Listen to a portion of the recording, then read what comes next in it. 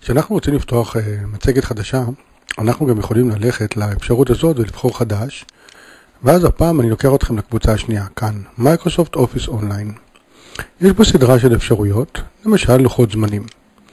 לוחות זמנים, אנחנו מקבלים כאן סדרה של כל מיני כאלה לוחות זמנים. כתוב גם למטה מה יש, אנחנו כמובן יכולים גם להשתמש בזה כדף אחד בתוך מצגת אחרת. אז אם בחרתי את האפשרות הזאת, ציר זמן עבור פרויקט רב שכבתי ל-12 חודשים, הנה הוא מוריד את זה עבור המצגת שלנו. נחכה מספר שניות וכבר קיבלנו. רואים זה דף אחד. בסך הכל דף אחד, אבל הוא מתחלק את זה בצורה יפה, וכשאני בעתיד, בואו קצת נגדיל, כשאני בעתיד ארצה נניח לתכנן את זה, אז אני יכול כאן לעמוד על כל אחד מהאפשרויות כאן, ולהזיז ולמתוח ולהעביר הלאה, אפשרויות שכאלה. יש לנו כאן, אה, בואו נגדיל. אפשרות פשוט את הכדור הזה, לקחת לאן שאנחנו רוצים, ואם אני אלחץ לשיפט הוא ירוד בצורה ישרה, נניח כאן עד אמצע מאי, וככה אני יכול לשחק קצת עם הנתונים. רואים, אני יכול להזיז את זה, יכולים להזיז את זה. בואו נראה את הכל בראייה מחדש, אה, יש כפילויות וכן הלאה. בואו ניקח דוגמה נוספת, אנחנו נלך לחדש פעם נוספת, כמו מקודם. הפעם נעזוב את הלוחות זמנים, יש לנו לוחות שנה ומצגות. מצגות, באיזה נושא? מצגת עסקית, תקבלו כאן מספר עיצובים של מצגות עסקיות. מצגת לעבודה בנושא מדינה. הנה הוא מראה לכם כאן ויורד. המילה מצגות היא לא רק עיצוב, אלא גם תכנים. כאן באים ואומרים לכם, אני אלמד אתכם לא רק איך לעצב את המצגת בצורה יפה, אלא אני אתן לכם גם את הכלים איך באמת להתמודד עם ה... מה לכתוב בכל דף.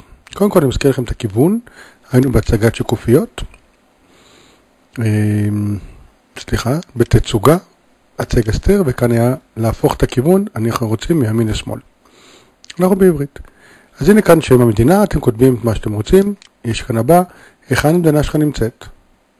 אוקיי, לחצת על הסמל כדי להוסיף פריט תמונות, וכאן ספר באיזה יבשת אתם נמצאים, וככה הולך על כל אחד מאפיינים גיאוגרפיים, האקלים, בדוגמה הזאת. בואו נראה עוד דוגמה, כי זה באמת נושא שהייתי ממליץ לכם קצת ככה להתעסק.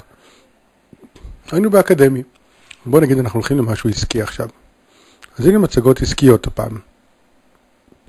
מצגת התמצאות לעובדים, ספר מכירות, מצגת עבור ניתוח בדיעבד של פרויקט, מצגת התמצאות עבור עוד אחד.